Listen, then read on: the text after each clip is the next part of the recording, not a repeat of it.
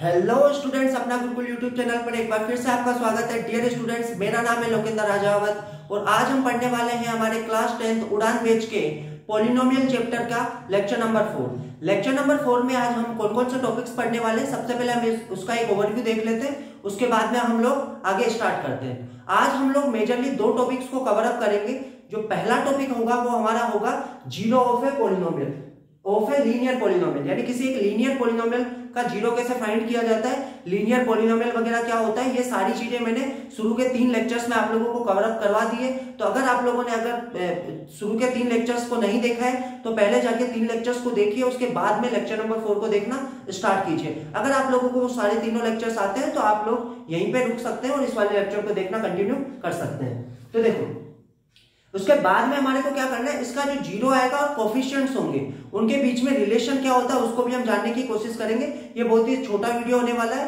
20 से 25 मिनट से से भी कम का वीडियो ये होगा। तो चलिए शुरू करते हैं। तो देखो, सबसे पहला जो टॉपिक है हमारा zero of a linear polynomial zero of a linear polynomial को समझने से पहले हम ये देखते हैं कि भाई लीनियर पोलिनोमियल एक्चुअल में होता कैसा है, दिखेगा कैसा और लिखा कैसे जाता है।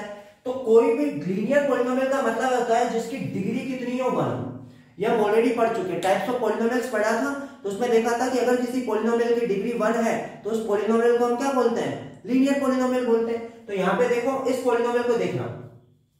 ये इस टाइप का अगर पोलिनोमियल कहीं पे दिखता है P X is equal A X plus B यहाँ ध्यान रखना ए ज़ीरो नहीं होना चाहिए। क्यों नहीं होना चाहिए? क्योंकि ए अगर ज़ीरो हो गया तो ये पूरा टर्म ज़ीरो हो जाएगा। ओनली बचा बी बी एक कॉन्स्टेंट है। तो ये फिर लीनियर पोलिनोमियल नहीं होगी क्या बन जाएगा?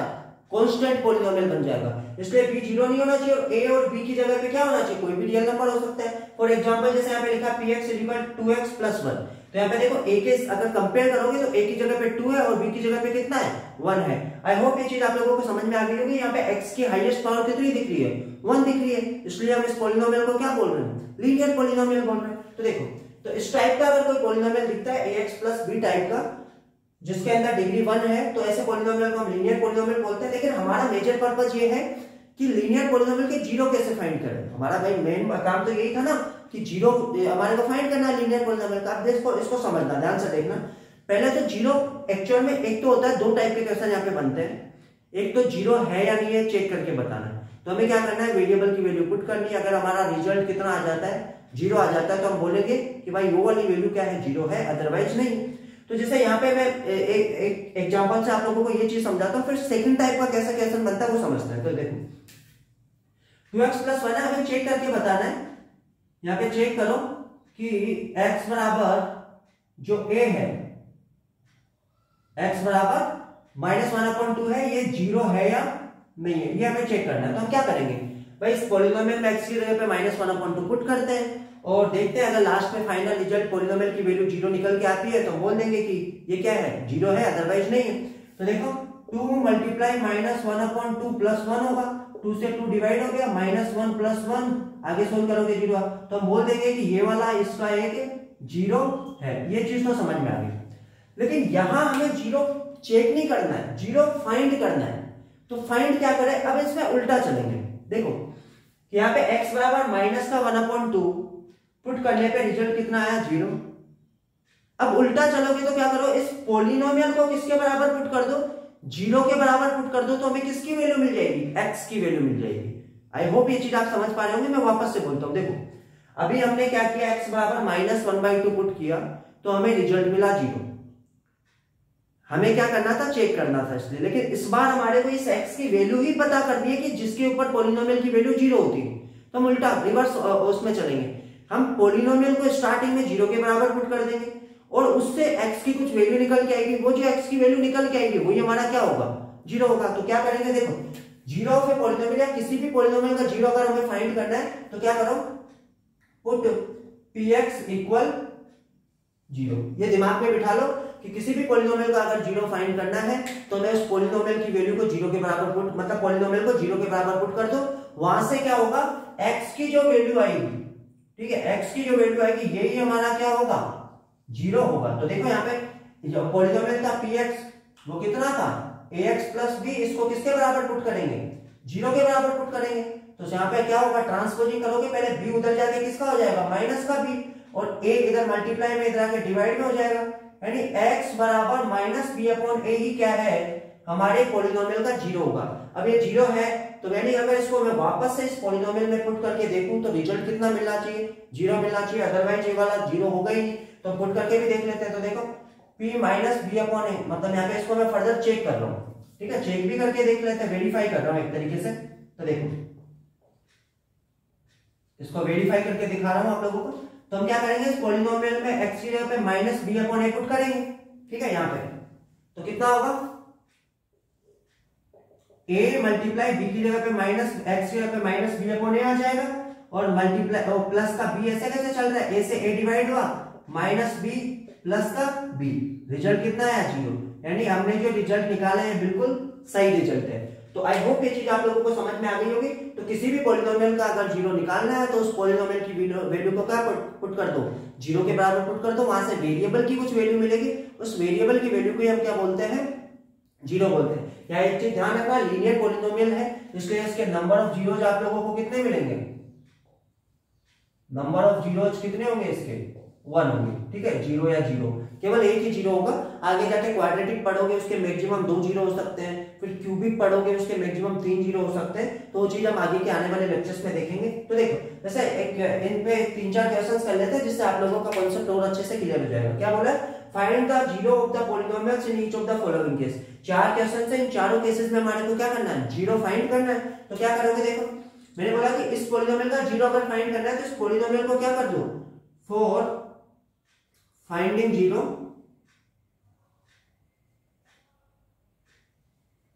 Of P X क्या करोगे? पी एक्स को क्या करो? Put P X equal to zero. तो यहाँ पे क्या होगा? X प्लस फाइव कितना हो जाएगा? ज़ीरो तो फाइव उधर जाके किसका हो गया? माइनस का हो गया। तो ये x बराबर माइनस फाइव है। यही हमारा क्या है? Zero of P X is equal X plus five का ज़ीरो निकल गया। ये हमारा क्या हो गया? आंसर हो गया। आई होप ये चीज़ आप लोगों को समझ में आ गई जैसे इसका ज़ीरो फाइंड करना है तो जी को किसके बराबर पुट कर दो? ज़ीरो के। यानी टू एक्स प्लस फाइव को किसके बराबर पुट कर दो? ज़ीरो के बराबर पुट कर दो। यहाँ क्या होगा? फाइव उधर जाके माइनस का हो जाएगा प्लस का है तो और टू इधर आके डिवाइड का हो जाएगा एक्स की वैल्यू कितनी है माइनस फाइव अपॉन टू आ गई। आई होप ये चीज़ भी आप लोगों को समझ में आ गई होगी। फिर यहाँ पे एच एक्स को किसके बराबर पुट करना? ज़ीरो के। यानी टू एक्स बराबर ज़ीरो हो गया। या टू इधर डिवाइड में जाएगा तो टू डिवाइड बाई ज़ीरो मतलब ज़ीरो डिवाइड बाई टू कितना होगा? ज़ीरो आएगा। मतलब इसका जो ज़ीरो आ रहा है, वो कितना आ रहा है? ठीक है? ये वाला ज़ीरो आ गया। अब इसका करना है तो पी एक्स को किसके बराबर पुट कर दो? ज़ीरो के बराबर पुट कर दो। सी एक्स प्लस डी बराबर कितना होगा ज़ीरो? तो सी एक्स बराबर माइनस का डी हो जाएगा प्लस का डी उधर जाके। और हमारे को तो एक्स की वैल्यू चाहिए तो सी इधर मल्टीप्लाई में उधर जाके डिवाइड हो जाएगा। तो यहाँ पे क्या हो गया? एक्स बराबर माइनस डी अपॉन सी यहाँ पे कंडीशन भी गिवन है सी नॉट इक्वल ज़ीरो होना चाहिए। क्यों? क्योंकि लास्ट में डिनोमिनेटर में आएगा सी और डिनोमिनेटर में ज़ीरो होगा। इसका मतलब क्या होगा? कि वो नॉट डिफाइंड हो जाएगा। इसलिए वो खुद ही कंडीशन उसने बता दी हमारे को। आई होप ये चीज़ आप लोगों को समझ में आ गई होगी। इसी के साथ हमारा आज का लेक्चर खत्म होता है। ठीक है? सॉरी हमारा एक टॉपिक और है। अभी लेक्चर खत्म नहीं हुआ है। हमारा टॉपिक क्या है? कि जीरोज और कोफिशिएंट के बीच में क्या रिलेशन होता है। अब यहाँ पे एक्चुअल में कोफिशिएंट क्या होता है वो भी मैं बता देता हूँ। यहाँ पे एक्स के साथ ये ए दिया हुआ है, ये बी दिया हुआ है, ये दोनों क्या कहलाते हैं? यहाँ पे कोफिशियंट्स कहलाते हैं। ठीक है? ये सारी चीज़ें मैं पोलिनोमियल का जो पहला लेक्चर बताया था उसमें वो ऑलरेडी आप लोगों को बता चुका हूँ, ठीक है? तो इसको आप नोट कर लीजिए, फिर नेक्स्ट स्लाइड पे हम लोग रिलेशंस देखते हैं ज़ीरो और कोफिशियंट्स के बीच में क्या होगा। अब हम देखते हैं कि किसी भी लीनियर पोलिनोमियल का जो ज़ीरो निकल के आएगा वो, और उसके जो कोफिशियंट होंगे, उनके बीच में क्या रिलेशन होता है? ये रिलेशन आप लोगों को हमेशा याद रखना है, ये बार बार कभी ना कभी क्वेश्चंस में यूज़ हो सकता है। तो देखो, शुरू करो तो जैसे मान लो कि हमारे पास एक पॉलिनोमियल दे रखा है p x is equal a x plus b है कंडीशन आप लोगों को पता होनी चाहिए, ठीक है, कि ए नॉट इक्वल ज़ीरो होना चाहिए और ए और बी क्या होने चाहिए? रियल नंबर्स होने चाहिए। यहाँ पे ए और बी को क्या बोला जाता है? कोफिशियंट्स बोला जाता है। ठीक है? कोफिशियंट्स बोला जाता है और यह भी ध्यान रखना कि यहाँ पे जो बी है, इसके साथ कोई वेरिएबल नहीं है तो इसको क्या बोलेंगे हम? कॉन्स्टेंट टर्म बोलेंगे। और यहाँ पे जो ए है, ये क्या है? भाई, और ये जो ए है कॉन्स्टेंट टर्म बोल दो या फिर इसको क्या बोल सकते हैं? यहाँ पे वेरिएबल तो है ही नहीं तो एक्स की पावर ज़ीरो मान लो। तो हम इसको कोफिशियंट ऑफ़ एक्स की पावर ज़ीरो बोल सकते हैं, या ओनली कॉन्स्टेंट टर्म बोल सकते हैं। तो हम यहाँ पे कॉन्स्टेंट टर्म बोल के चलेंगे। एक्स के साथ में क्या है? ए है। तो इसको क्या बोलेंगे? ए को कॉफिशियंट ऑफ़ ए बोलेंगे। लेकिन हमें तो क्या सॉरी कॉफिशियंट ऑफ़ एक्स है। ठीक है, ये कॉन्स्टेंट टर्म है कॉफिशियंट ऑफ़ एक्स है। अब हमें तो इसके ज़ीरो और उसके बीच में रिलेशन फाइंड करना था। तो एक काम करते हैं, मान लेते हैं let the zero of p x be alpha ठीक है, ये एक सिंबल यूज़ किया है मैंने। कैसे बनाएँगे? ऐसे करके ये बनेगा। इस सिंबल को क्या बोला जाता है? एल्फा ठीक है, इसको हमने मान लिया कि ये इस पोलिनोमियल का ज़ीरो है। अब इसका क्या मतलब होगा? पहले तो हमें लास्ट स्लाइड में हम देख चुके हैं कि ज़ीरो कैसे फाइंड करते हैं। तो देयरफॉर इसके हिसाब से अगर हम चले तो क्या होगा? मतलब ए एक्स प्लस बी को ज़ीरो के बराबर पुट करोगे, वही क्या आएगा हमारा? अल्फ़ा निकल के आना चाहिए। भाई, यहाँ यही तो समझाने की कोशिश कर रहा हूँ मैं, देखो, ध्यान से समझो। ये चीज़ समझ में आ गई क्या आप लोगों के? कि भाई यहाँ पे b कांस्टेंट टर्म है, क्योंकि इसके साथ कोई वेरिएबल नहीं है। A x के कोफिशिएंट में है, इसलिए इसको कोफिशिएंट ऑफ़ x बोला जाता है। ये हमारा लीनियर पॉलिनोमियल दिया हुआ था। अब हमें क्या करना है, इसका जो ज़ीरो होगा वो, और इसके कोफिशिएंट यानी a और b, और इनमें तीनों में कोई रिलेशन होगा। ज़ीरो को मैंने क्या मान लिया? बार बार मैं ज़ीरो ज़ीरो नहीं बोल के इसको अल्फ़ा बोलूँगा मैं। ठीक है? अल्फ़ा के बीच में और ए और बी के बीच में कोई रिलेशन है। उस रिलेशन को हमारे को फाइंड करना है। तो हमने क्या किया? सबसे पहले तो इसका ज़ीरो क्या होगा ठीक है? हमें पता है कि फोर फाइंडिंग ज़ीरो, ठीक है? For finding zero of p x क्या करेंगे? पुट पी एक्स को किसके बराबर पुट कर दो? ज़ीरो के बराबर पुट कर दो। यहाँ से क्या होगा? ए एक्स प्लस बी बराबर कितना मिला? ज़ीरो मिला। यानी कि एक्स बराबर क्या होगा? बी उधर जाके माइनस का और ए उधर आके डिवाइड का आ गया ठीक है? और इस वाले ज़ीरो को हमने क्या नाम दे रखा है? अल्फ़ा तो मतलब हमें ये चीज़ समझ में आ गया। जो अल्फ़ा होगा, वो क्या होगा? माइनस बी अपॉन ए होगा। ठीक है? अब यहाँ देखो माइनस बी बी एक्चुअल में क्या है? एक कांस्टेंट टर्म था ना? यानी अल्फ़ा जो ज़ीरो आएगा, वो क्या होगा? Minus of constant term divide by a क्या है? ए किसका कोफिशिएंट है? एक्स का। तो यहाँ पे क्या आ जाएगा? कोफिशिएंट ऑफ़ एक्स ये रिलेशन होता है ए बी और अल्फ़ा के अंदर। अल्फ़ा मतलब ज़ीरो के अंदर। तो अल्फ़ा ये जो ज़ीरो होगा, वो क्या होगा? माइनस बी अपॉन ए होता है। ये हमेशा याद रखो। अब इसको यूज़ कैसे करेंगे? तो देखो क्वेश्चन पूछा है। ठीक है? Find zero of p x is equal to x minus three इसका ज़ीरो फाइंड करना है हमारे तो हम क्या करेंगे? देखो डायरेक्ट अल्फ़ा बराबर क्या होगा? हमें पता है माइनस बी अपॉन ए होता है। पहले कंपेयर करो। यहाँ पे बी की वैल्यू कितनी है? माइनस का थ्री और ए की वैल्यू कितनी है? टू है। भाई बी की जगह पे माइनस थ्री आ रहा है और ए की जगह पे टू आ रहा है। ठीक है? और अल्फ़ा बराबर क्या होता है? माइनस बी अपॉन ए होता है। तो माइनस बी की जगह पे कितना आएगा? माइनस थ्री ध्यान रखना। ये जो माइनस है, ये ये वाला माइनस किसका था? फॉर्मूला का। ये रिलेशन का माइनस था। ठीक है, इस वाले रिलेशन का ये माइनस। और ये जो माइनस है, माइनस का थ्री वाला बी का माइनस है। तो ये ऐसे कैसे आएगा, माइनस का थ्री और नीचे कितना है? टू है। और यहाँ पे कितना होगा? Minus minus plus three by two यानी हम डायरेक्ट क्या निकाल सकते हैं? अल्फ़ा की वैल्यू निकाल सकते हैं। एक तरीका ये भी है कि तुम आप लोग क्या कर सकते हो, इसको ज़ीरो के बराबर पुट करो तो माइनस का थ्री उधर जाके प्लस का थ्री होगा और टू उधर आके डिवाइड होगा तो भी क्या होगा, ये होगा। लेकिन अगर आप लोग डायरेक्ट रिलेशन याद रख सकते हो तो आप लोगों के लिए और आसान हो जाएगा, ठीक है? इसके अलावा एक और क्वेश्चन में बताऊँगा कि if zero of p x is equal a x plus three is seven तो ए की वैल्यू हमारे को बताना है। ठीक है? ए की वैल्यू हमारे को फाइंड करनी है। क्या बोला है? कि p x is equal a x plus three है। इसकी जो वैल्यू का का ज़ीरो कितना है? सेवन दे रखा है। मतलब हमारे को अल्फ़ा की वैल्यू कितनी दे दी है? सेवन दे दी है। अब हमारे को किसकी वैल्यू पूछी है उसने? ए की वैल्यू पूछी है। तो हमें यह भी पता है कि जो अल्फ़ा है, इसके हिसाब से चले तो यहाँ पे कि अल्फ़ा बराबर क्या होता है? माइनस बी अपॉन ए होता है। तो बी कितना दिया हुआ है, देखो इस क्वेश्चन में कंपेयर करो तो ए की जगह पे तो ए है और बी की जगह पे कितना है? थ्री है। यहाँ पे पुट करते हैं।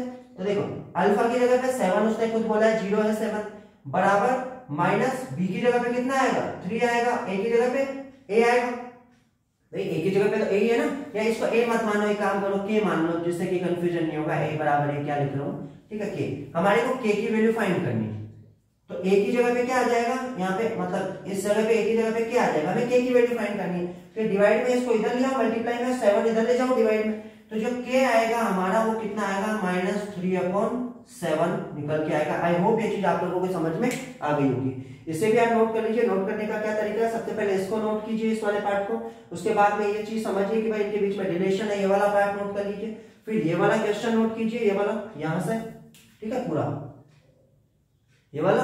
और फिर ये वाला क्वेश्चन नोट कीजिए? आई होप ये चीज़ आप लोगों को समझ में आ गई होगी। इसी के साथ हमारा आज का लेक्चर खत्म होता है। नेक्स्ट लेक्चर में हम लोग पोलिनोमियल्स के ग्राफ्स को पढ़ेंगे, जो कि एक लंबा लेक्चर होगा, जिसमें बहुत सारे अच्छे अच्छे कॉन्सेप्ट हमारे को सीखने हो। सकता है कि सीबीएसई e के अंदर डायरेक्ट वहाँ से इतने ज़्यादा कॉन्सेप्ट हम वहाँ पे पढ़ने वाले सभी कॉन्सेप्ट से क्वेश्चन नहीं आए लेकिन हम लोग फिर भी जो आप लोगों की बुक में वो गिवन है, इसलिए हमारे को पढ़ना पड़ेगा। ठीक है? तो जनरली वो उससे क्वेश्चन पूछा नहीं जाता है। इसी के साथ ही अगर आप लोगों को वीडियो अच्छा लगा है तो वीडियो को लाइक कीजिए, अपने दोस्तों के साथ शेयर कीजिए, और इसी के साथ हमारा चैनल भी सब्सक्राइब कर लीजिए, जिससे कि आगे आने वाले सभी वीडियोज़ के नोटिफिकेशन आपको मिलते रहे तब तक के लिए थैंक यू